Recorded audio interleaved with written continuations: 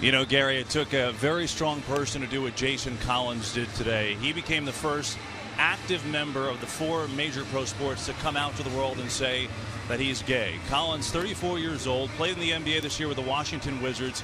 He is a free agent, but said in Sports Illustrated article that he fully intends to play next year. And obviously, that was a topic in the Mets clubhouse today.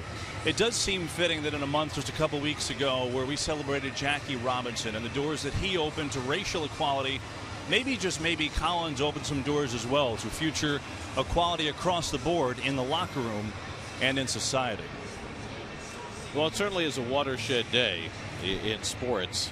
It's been a long time in coming, and I think everybody who has ever played sports knows that there have been gay athletes who have not felt comfortable in coming out, but I think society has changed enough in the last decade that it was inevitable that it was going to happen sometime soon. And all kudos to Jason Collins for having the uh, having the gumption, having the wherewithal to be the first to uh, put himself out there and acknowledge that he is gay. And um, I wish, and I know that we wish him all the best.